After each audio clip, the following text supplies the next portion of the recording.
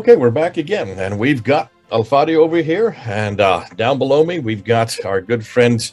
Uh, maybe he's up above. I don't know how when this is going to record where he's going to be, but he'll be either above us or below us.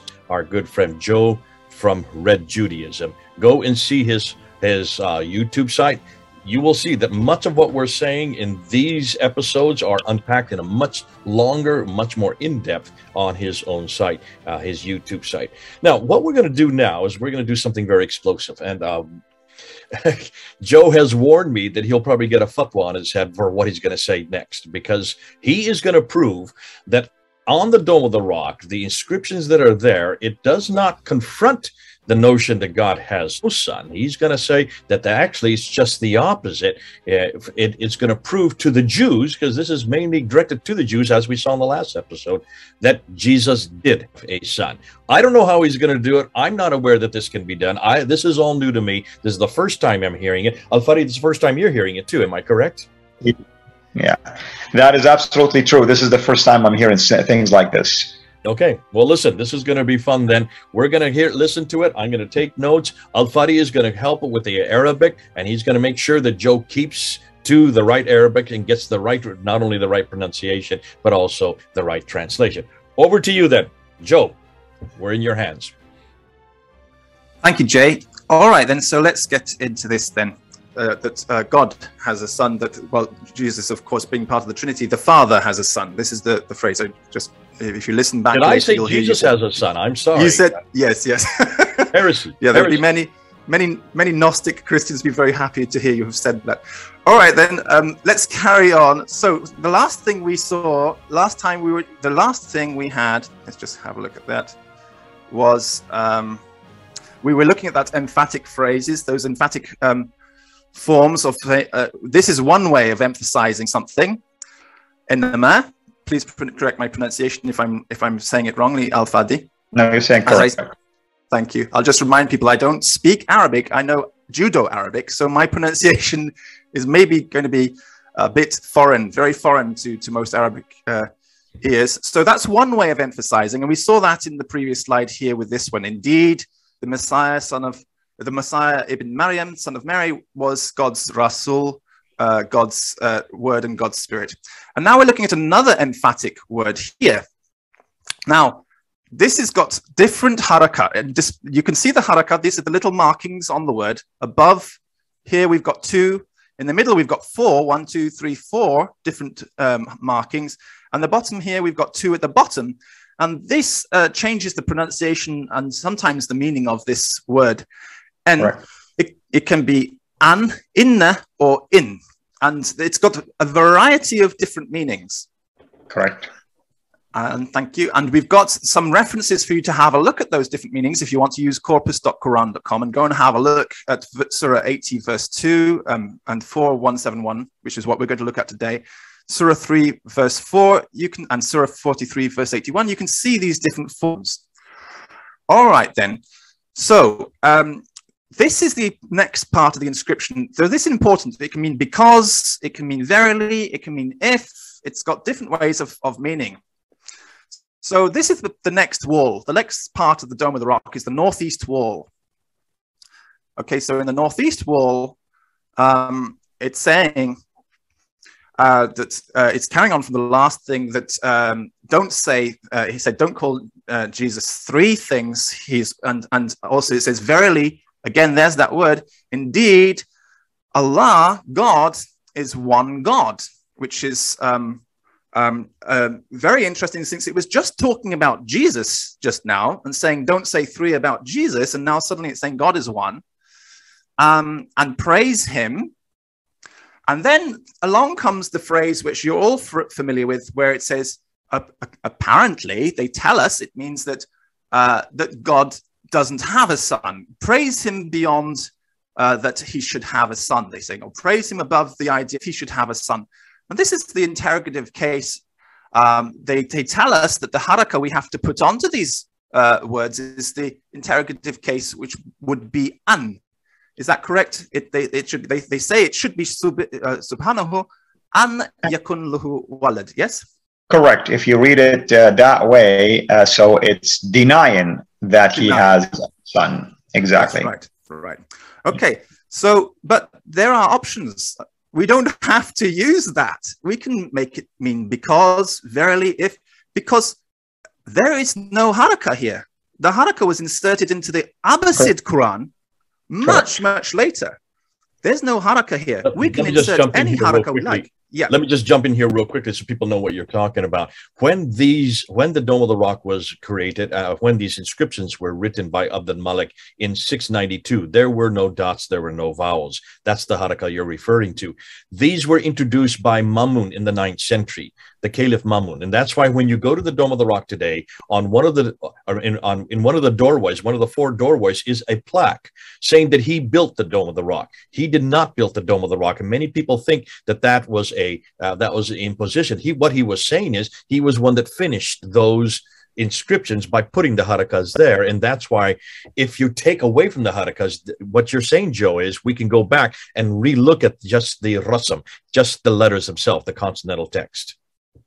Oh, well, that's right. The harakas are actually only in the Quran. If you this this what I have here for you is exactly what's written on the Dome of the Rock. There is no haraka on this. Uh, there is no haraka. Only the haraka were inserted on the outside and the new inscriptions and in the Quran later. But there is no haraka here. So that means we can we can put in any haraka we like. Now remember the context that we're looking at is that this is a message to the Jews. This is telling the Jews that those three theophanies in the uh, Old Testament are Jesus the Messiah. So, uh, and of, course, you know, Jews have understanding that uh, uh, the, the, the archangels are that's called the children of God. The children of God is is is is is is how it's referred to. I can only say it when I'm praying. So, um, uh, so here, what we're going to say is, let's put in a different haraka, let's put in a different meaning. This is the emphatic form. Let's read it as an emphatic form. Suddenly it says, Subhanahu there are, there are many different possibilities, but indeed, verily, truly, there is to him a son. That's what it says. It can also say, if uh, there is to him a son, so what? His is the heavens and the earth. You know, all sovereignty is in his hands. So he's the master of everything. What does it? It doesn't remove from his sovereignty. It doesn't remove from his gloriousness at all. He's one God and he has a son. What do you think? Um, am I telling lies, Al Fadi? No, I mean, uh, th- these are definitely strong possibilities for sure, uh, given the fact that there are no harakat, meaning diacritical markings or dotting. So, uh, I mean, I, with all the respect to my Muslim friends, they can argue all they want and they can say, well, that's not how we read it. But that's the catch. When did you learn how to read it this way? It was added later. And you cannot really deny that the way it is in the inscription could be read differently, especially in light of the view that you are bringing as well. Thank you so much. Thank you. Because a lot of people would say that I don't know Arabic, I don't know what I'm talking about here, and um, or that I'm only using Jud Arabic. But the point is, these possibilities exist. Um, and uh, here, the, so the meaning is changed entirely. Now it's saying, praise him because he has a son. Praise him, indeed, he has a son. Praise him if he has a son. Then it doesn't uh, doesn't change anything. I like the one because he has a son, because um, if it's praising because he has a son, it's saying that if there is a God out there who doesn't have a son, then that's not that's not a God worthy of praise. It's the God who has a son is the one who is worthy of praise because um, because of what his son has has achieved. So um, I like that interpretation, but there it's open to many interpretations. There's a, another one I like is in verily indeed to him there is a son. Now let's go on to this yakuna here. And again, we see the exact phrase here, en yakuna uh, is, is again here, en yakuna here, or inna yakun, or in yakun is again down here. Here it's saying, um, um, praising indeed if he has a son, and this is a negative particle here. This is not the same in. If, if you look, this is actually lan, this is el, mm. a lamid here. Yeah. So this is saying the Messiah would not disdain um, if uh, even if he is, or he, if he is, um, and it goes on to the next part, Abdullah, a servant of God. Now, people have understood this part as meaning, well, you know, this this is saying that it's it's not. Um, it's it's actually saying he's not God's son; he's a servant of God. But remember, the context we're talking about here is is Judaism and Jews.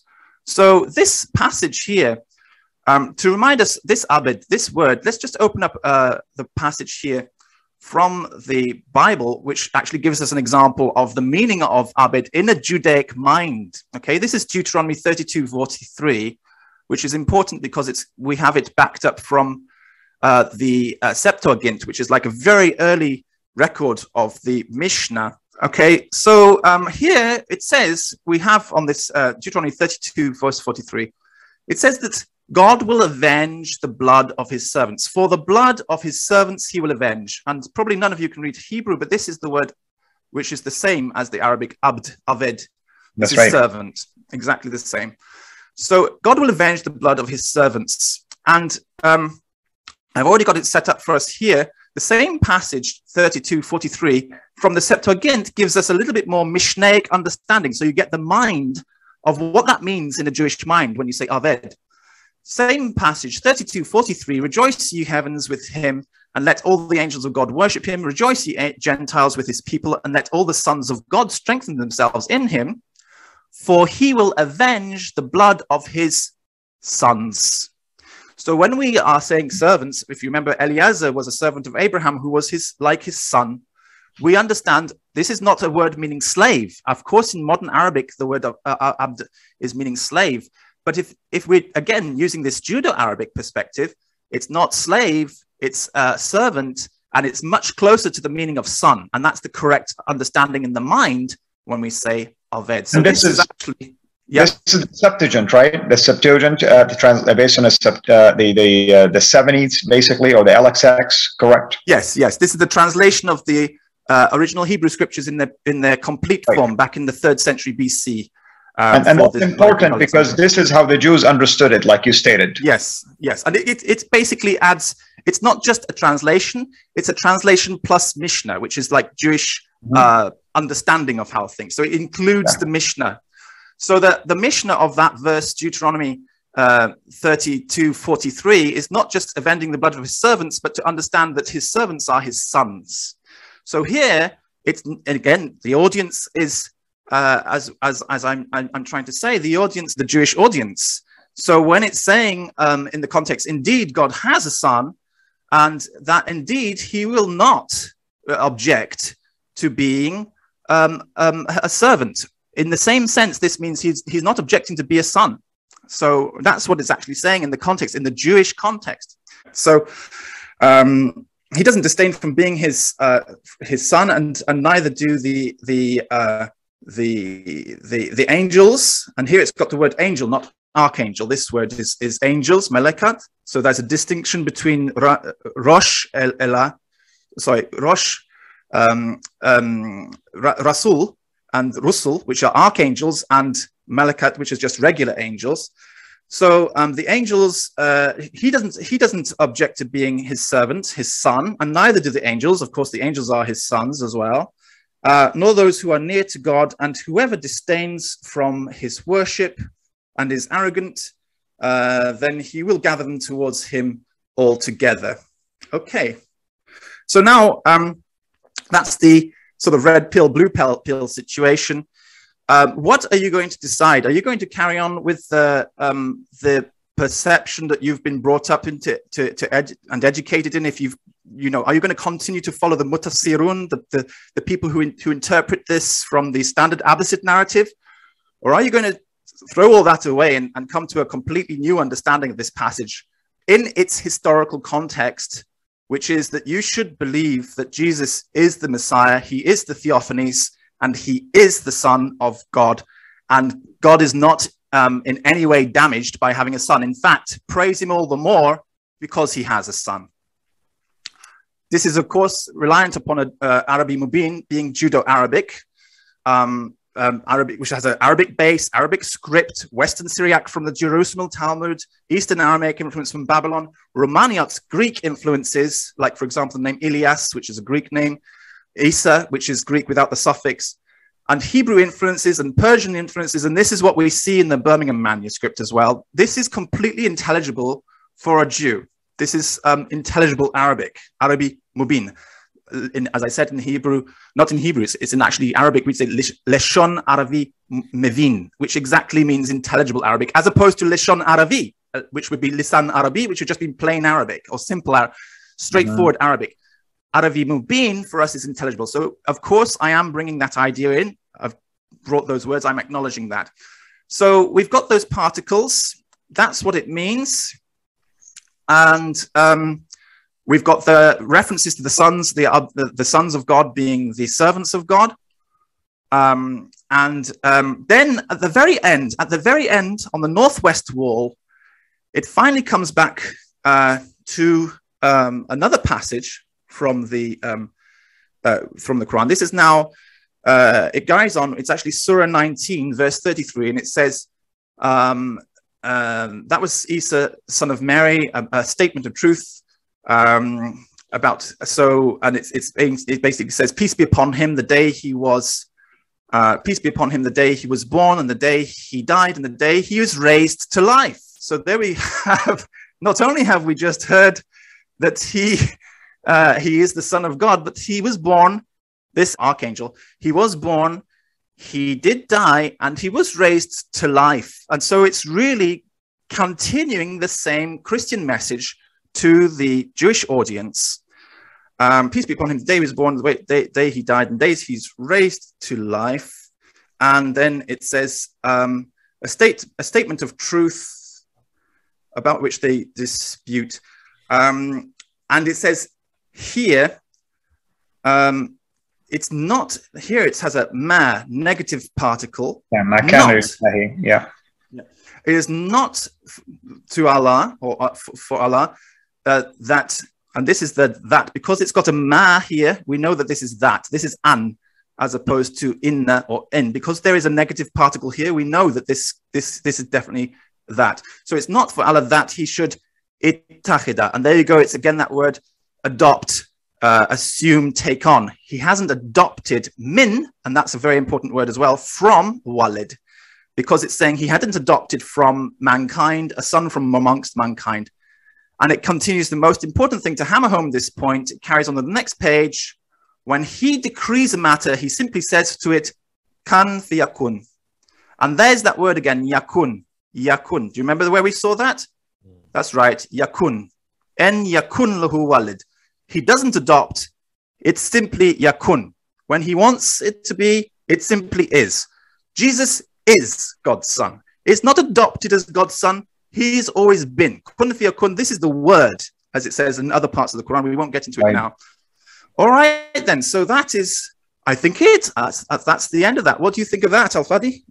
Absolutely possible. Uh, the way you approach it grammatically is possible. Uh, the way that the inscription is written without diacritical marking makes it possible also.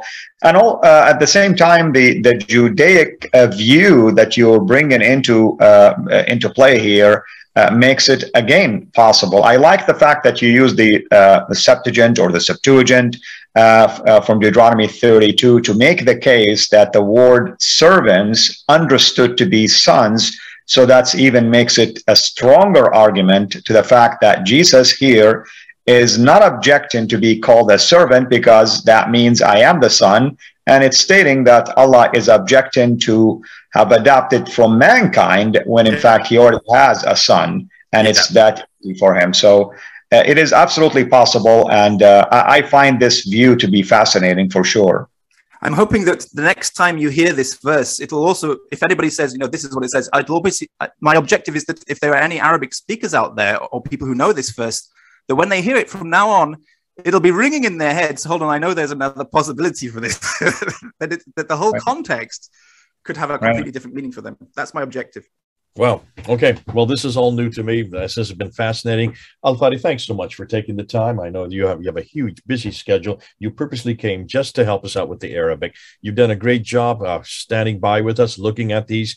Uh, for you, uh, this is probably again for you. This is the first time you've heard it as well. Joe, thanks for doing all this work. Thanks for coming on board. Not everybody's going to agree with you.